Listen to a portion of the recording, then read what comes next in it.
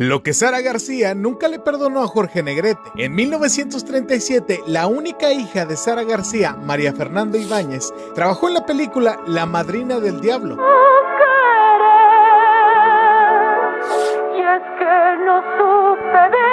Donde compartió pantalla junto al aún desconocido Jorge Negrete, ambos en el papel protagónico. Yo me considero más que pagado con el placer de estar cerca de usted nuevamente. El charro cantor se enamoró de la hija de la abuelita de México, cortejándola fuera de los foros de grabación. Esto no fue del agrado de Sara García y de inmediato rechazó cualquier intento de Negrete por tener un romance con su hija. Esto por rumores de que Negrete tenía otro amor. De lo que se tiene certeza es que en 1938 María Fernanda se casaría con el ingeniero Mariano Velasco Mujica y la hija de Sara García fallecería en 1940 por fiebre tifoidea idea. Esto concluyó en que Sara García nunca tuvo en alta estima a Jorge Negrete, a pesar de que en 1942 participarían en la película Historia de un gran amor. Te dejamos más opciones para que conozcas nuestro contenido.